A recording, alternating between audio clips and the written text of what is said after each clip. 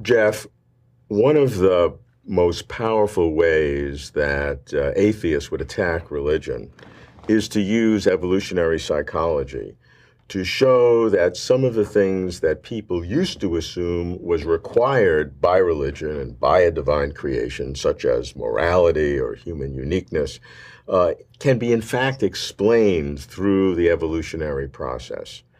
Do you think that evolutionary psychology undermines religion? Mary Midgley uh, has this funny comment. She says, In recent years, we've seen the breakdown of a precarious truce between uh, human scientists and evolutionary biologists, where previously hu um, human scientists had agreed not to question the truth of evolutionary theory so long as nobody attempted to make any serious use of it. and, um, you know, just in the last several decades, um, we've seen an explosion of work uh, into morality, uh, the question of human uniqueness, the evolution of religious cognition uh, from evolutionary biology as a result of the development of new, new uh, empirical tools, but also theoretical approaches. And I think um, it does raise questions in, in all these areas, uh, theologically salient questions. I think some of the the, um, the deliverances are potentially challenging, and some of them are potentially confirming or at least concordant with traditional religious belief. Okay, let's understand yeah. each of those categories. So, um, so let's take uh, one area, particular uh, evolutionary accounts of religious cognition, mm-hmm. and um, there there are several challenges that uh, that critics of religion say these approaches raise, and, and actually the challenges depend on uh, which particular theory uh, you're, you're, looking at. So, uh, one of the theories, uh, the dominant theories, is the byproduct or spandrel theory that says that um, uh, our dispositions toward belief in supernatural agents is innate. It's not just a cultural overlay, but it's not an adaptation. It's an uh, a byproduct, evolutionists call it a, a, spandrel, of other cognitive dispositions that are um, that are adaptations. So the Yale psychologist Paul Bloom had an article in the Atlantic a while ago called "Is God an Accident?" and he says that belief in God is the uh, uh, the result of a byproduct gone awry. Now, um, the the problem there, the reason I don't think that uh, works is um, is demonstrating the awryness of the byproduct. So the fact that something is not been the target of natural selection uh, doesn't have anything to say about its uh, whether it's if it's a cognitive disposition doesn't have anything to say uh, necessarily about uh, its uh, fidelity to truth. So, for example, the capacity to do higher mathematics, in the view of many biologists, may be a byproduct, but that, that doesn't make the deliverances of mathematics questionable. And on the other hand, by the way, some defenders of, of um, religion want to say. But there'd be a difference between mathematics, uh, which certainly would be a byproduct of evolution, and and uh, a, a tendency or a sense to believe in God. Because if there is a God, then God has will and intention, and God would have m- made a, an intentional effort to make that happen or not. Whereas mathematics is uh, is inert, at least from a causative point of view. Yeah, and actually, from that point of view, might you might even say if you uh, start with uh, uh, the assumption of theism, there's greater warrant to believe that these cognitive dispositions do deliver beliefs that are warranted. But uh, my only point uh, my, was that the cognitive dispositions that are not adaptations, um, there's no epistemic uh, reason to, to question their veracity. And on the other hand, um, cognitive dispositions that are adaptive may have systematic biases that deviate from truth. So there's a, a, fair amount of work for the placebo effect or the generation of overconfidence in certain uh, situations of conflict. So my response to this first objection that byproducts uh, deliver uh, beliefs that are um, unwarranted is that the adaptive or non-adaptive status of a cognitive disposition in and of itself doesn't have implications for warrant. So if we compare the situation today understanding evolutionary psychology, where you're saying it does not have a, a, a, an absolute disposition one way or another, that, though, by itself, moves it away from where we were previously where most theists would believe that God made an affirmative decision to put this in. So now, now you have ambiguity before you had certainty if you're a theist. Well, I'm not sure that's uh, I'm not sure that's true. Uh, here's why. First of all, and this would be a different discussion, but it's not. There are a number of uh, contending theories uh, for how and why we would have innate dispositions. In fact, there isn't even an agreement about whether we have these innate dispositions. So, uh, you know, uh, Richard Dawkins uh, argues that religious belief is a virus that in, mm-hmm. infects us and that uh, it may not be a reflection of how our minds innately work. Right now, I think this is one of the most exciting areas of, uh, of research in evolutionary biology and cognitive science, but in a sense, we have a, an embarrassment of riches. Uh, there are a variety of theories, and not all of them are even uh, mutually consistent. So, um, that's a good sign. Yeah, it's a good sign. I mean, it's a, it's a, it's a, it's a new area of research, and uh, as with, as is typical in science with new areas of research, the um, theoretical resources are not complete, uh, fully pruned by by data yet. You did your doctorate in evolutionary theory, and you are a believer. So, what's your conclusion? How, what, where do you see it? Where do, where do you see God's role, because you believe in God, in the process of evolution? Knowing all you do about evolutionary psychology.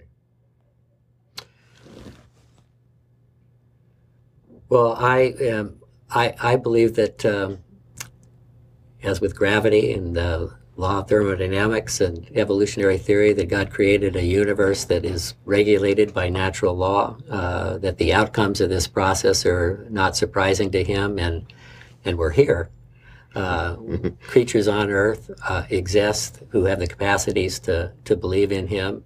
Uh, I don't see a conflict there. Now, the question is whether um, the fact that we have the capacities to form religious beliefs um, subverts our warrant uh, or for confidence in the truth of those mm. beliefs. And um, I don't think it does. Why? Because the obsiduation of the dialoctate has trichonomic viligitations. How many? How many? That's the best explanation yeah. I've heard re- uh, recently. Well, I mean, why wouldn't an explanation um, for a disposition to religious belief subvert warrant for truth in that belief? Uh, two responses that I mean, first of all, superficially at, at face value, um,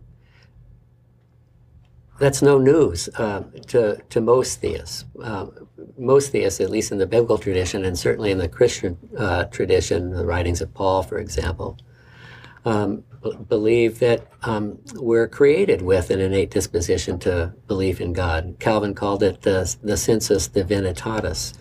It's not an inerrant, it's not immune to the overlays of, of culture. Um, but the fact that there are innate dispositions toward belief in the supernatural is completely concordant with the view of human nature that most theists uh, have had. Now, some people even take that uh, to be a demonstration uh, and try to do a natural theology based on that. I don't, I don't think that works. But at face value, there's no conflict.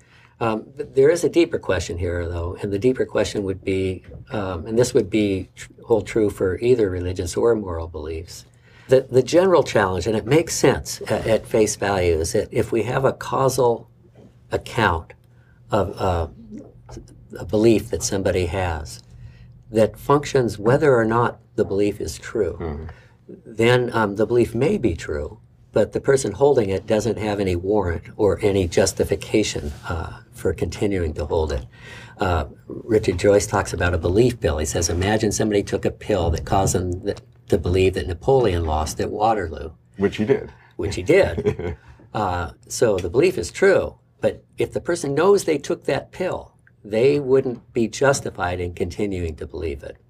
Uh, now, my response to that, and he says that natural selection is a belief pill. Which means that because natural selection exists, which everybody, almost everybody accepts, that means that if you believe in God, you do not have warrant or you're not justified. Right. E- even if there may be a God, you're not justified because Right. of evolution. Right. Full stop. and and same with moral beliefs. So, um, so my response to that, I mean, some people uh, say, well, yeah, but that's that's true of all beliefs. Uh, na- if natural selection is a belief pill, uh, then Al Plantinga, for example, says, uh, then uh, our warrant for believing in the deliverances of reason and science and evolution itself is subverted, unless there's a God who structures the natural world. Uh, and that's an interesting argument. I think there's some problems with it. But my response would be twofold. Um, first of all, natural selection is not a belief pill at least in terms of uh, our current proposals, uh, we don't have one currently accepted account of how natural selection causes, uh, in, in this case, not just gen- the generic capacity to believe, but specific beliefs, which would be necessary. And it's not that there aren't promising proposals. It's that uh, we suffer from an embarrassment of riches. There are a lot of proposals right now. So I want to say, you know, look me up when you get there, first of all. But, but I think that the, uh, the, the challenge is real if, if we get there. Um, secondly, though, even if we got there, let's say we had a, uh, a selection, a, a count in terms of natural selection that, that could explain, um, propose it in terms of a causal genealogy, specific beliefs in ways that um, were insensitive to the truth of those beliefs. And there I would want to say, uh, there, there I'd want to say this. It reminds me of this story where uh, a group of atheist scientists challenged God and said, uh, we can create life, no problem, uh, no big deal, uh, out of inert matter. And so they showed up and uh, asked God for some dirt, and you keep your dirt. And God says, well, no, bring your own dirt. and so what I want to say to that is, okay, yes, given the existence of a universe fine-tuned uh, with the necessary preconditions for life, given the fact that life emerges, given the fact that there's an evolutionary trajectory that uh, out of which creatures with minds emerge, um, we might have an explanation for the disposition of belief in God. But we don't have all those other givens yet either. To return to the belief pill, let's say somebody did take the belief pill that caused um, them to believe that Napoleon lost at Waterloo. But there were uh, independent evidence um, that the pill uh, for Napoleon's existence uh, in, in exile, that the contents of the pill uh, contained certain herbs that were only uh, growing uh, at the spot of his exile uh, during uh, certain years. They discovered journals of Napoleon. Um, so if there were independent evidence that the pill itself were concocted by Napoleon, well, then there might be warrant. Uh, so even if we have uh, an evolutionary account of the native dispositions toward religious belief, that uh, within the context of that theory doesn't involve the target of belief, God, in a causal account, um, that in and of itself doesn't uh, demonstrate that um, the system that gave rise uh, to creatures uh, and evolutionary structures that make creatures and, and uh, mental, cognitive creatures possible is completely insensitive to causal inputs from God, including the initial conditions.